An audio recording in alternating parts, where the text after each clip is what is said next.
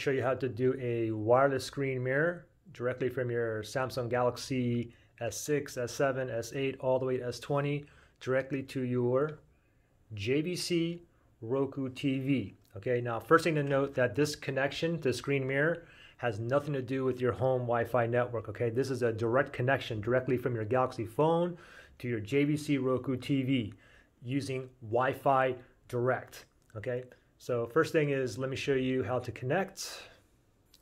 Grab your Galaxy phone and then you want to slide down the notifications. So go from the top here, slide down. You see a little horizontal line right there, slide down again.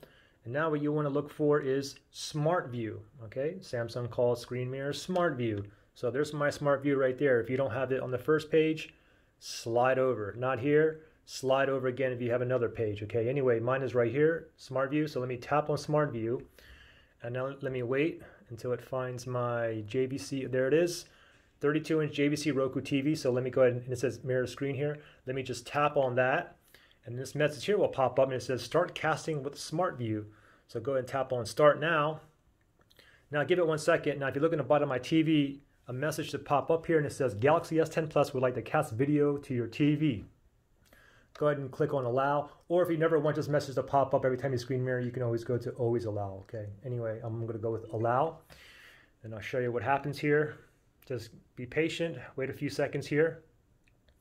And voila, we are mirroring, as you can see here. Now the only thing is, with mirroring, it's um, you can see there's a slight delay. Okay, so it wouldn't be advised to play like graphic intensive games and stuff like that, but you can still um, watch um, videos and shows.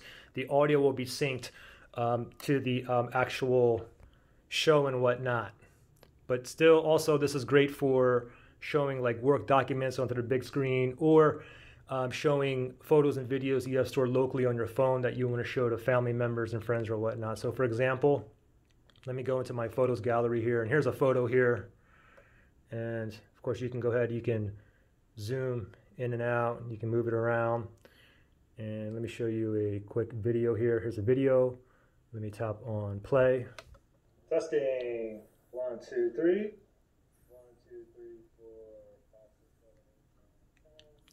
Now, take note that the audio is coming out from the TV not the phone. However, you can increase and decrease the volume using the uh, volume rockers on the phone, and it'll increase and decrease the volume on the TV. And if you want to go ahead and disconnect, just go back to your notifications. You can just slide down again, the horizontal line right there, slide down again.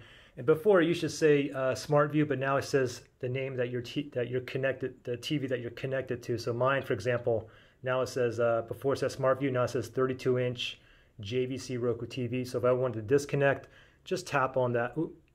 Just tap on that. There we go. And we should disconnect.